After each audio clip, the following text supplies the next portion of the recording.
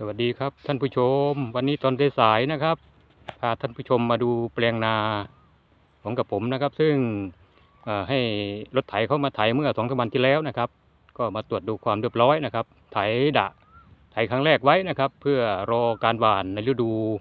ทำนาที่จะมาถึงนี้นะครับ ก็ดูชมกันนะครับหญ้าก็เยอะเหมือนกันนะครับ ก็ลองดูนะครับ เป็นลูกชาวนาต้องทำนา ถึงจะไม่ได้ซื้อข้าวเขากิน